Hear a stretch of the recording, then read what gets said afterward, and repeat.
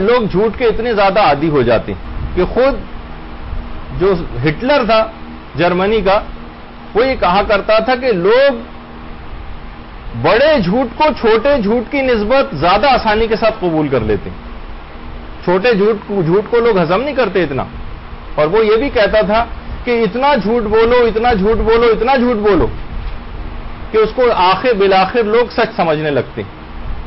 जो जुमला अरबी का मुहावरा भी है ना कि कुफर जब पुराना हो जाता है तो एन इस्लाम बन जाता है। यानी किसी चीज़ को एक राग अलाप, जो मीडिया हमारा राग अलापता है और बार बार हर टीवी एंकर जो है मसन एक ही कस्म की बात कर रहा हो तो जब भी आपने देखा कि लोगों के माइंड सेट हो जाते हैं उसके ऊपर,